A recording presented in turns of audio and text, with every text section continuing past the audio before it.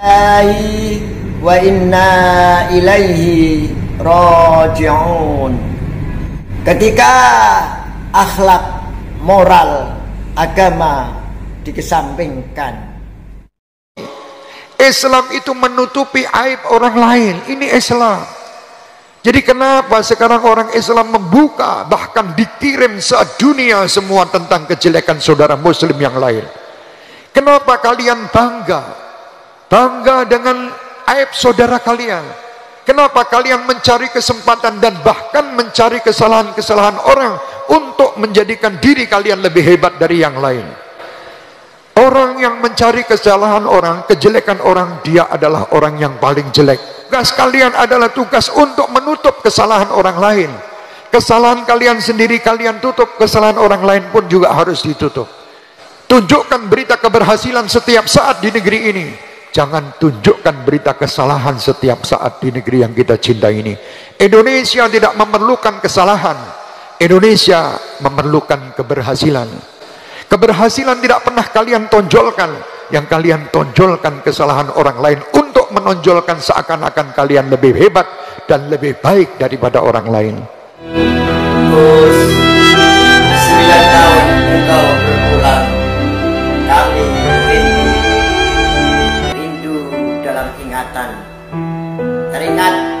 anekdot gitu aja kok repot. Semua repot, pada repot bikin repot jadi repot. Bahkan banyak yang merepotkan diri. Itu aja kok repot. Bukan sebatas anekdot. Dari pocokmu ini kubeberkan adanya sistem kepemimpinan Pancasila engar sosong tulodo ing madya maton karso tuturi handayani yang selalu digoyang-goyang oleh sim-sim card impor, HP-HP bekas medsos, bahkan pemikiran-pemikiran Mbah Google selain dengan bahasa dan slogan-slogan agama.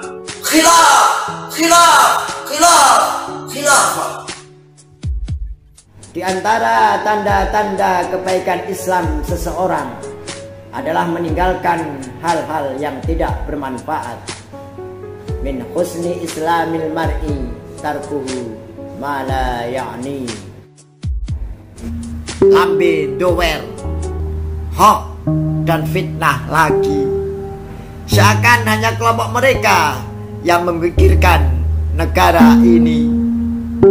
Lambe contor, fitnah dan fitnah lagi Seakan hanya mereka yang bisa mengatur dan mengelola bangsa ini.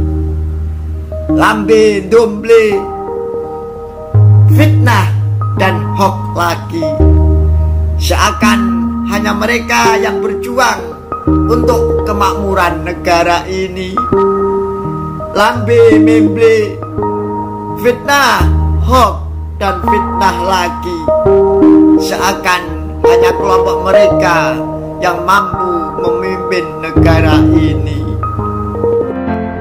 Media sosial punya aturan, bukan tempat laknat kebencian, bukan tempat laknat caci makian, bukan tempat laknat hinaan, bukan tempat laknat oh kebohongan. Sakarpe dewi pemuja medsos atas nama penyebar hoax fitnah, menyambung hujatan kebencian, penghubung anarki kekerasan, penggemar ejekan, olokan, hinaan, caci makian. Hoax, fitnah, provokasi, tidak sebatas cemilan, minuman, makanan, menu harian, tidak perlu dikunyah, ditelan, terasa nikmat. Tidak tidak berkata jujur. Berkata menyakiti sesama. Lisan tidak berucap baik berucap menyakiti sesama. Politik kedua politik bola bulu. Politik cara ningrat politik cara laknat. Media sosial punya aturan. Tahu logika dan fakta, tahu pesan kebenaran, tahu berita ketenaran.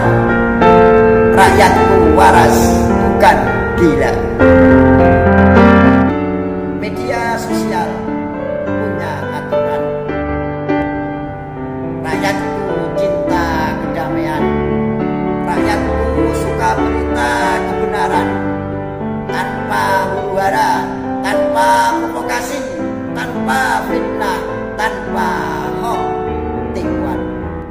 Kita memiliki hati untuk saling menghargai, menghormati sesama. Kita miskin, hati kita miskin, roh kita miskin. Tragedi dalam hidup adalah saat kita terlalu cepat menjadi tua. Kita tidak belajar untuk memberi. Kita miskin, roh kita miskin. Kita memiliki mulut untuk berucap hal baik dan indah pada sesama. Kita memiliki wajah untuk membagi senyuman damai pada sesama. Kita memiliki mata untuk memandang sesama tanpa prasangka kebencian.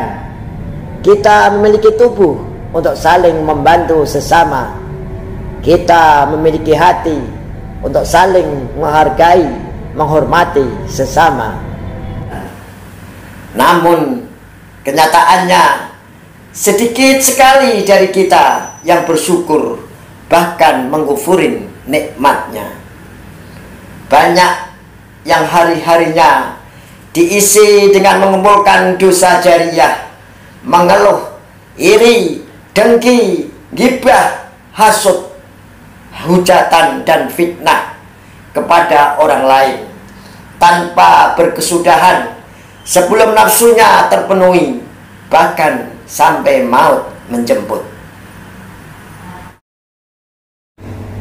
Rabbana zalamna